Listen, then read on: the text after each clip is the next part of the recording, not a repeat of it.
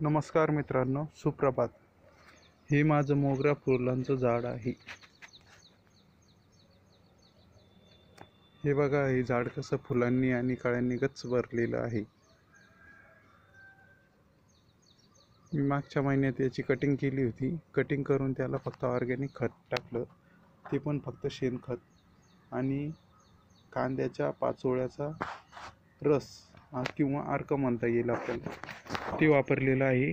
त्याचबरोबर याची मल्चिंग करून वरून बाष्पीभवन होऊ नये म्हणून वाळलेल्या पानांचा थर दिलेला आहे.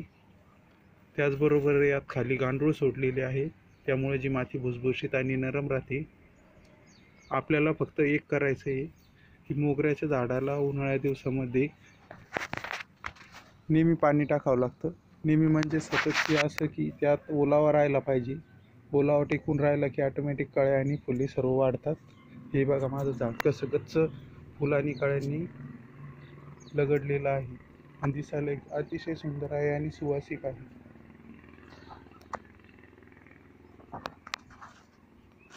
अपेक्षा आहे की आपल्याला माझे फुलाचे झाड आवडेल.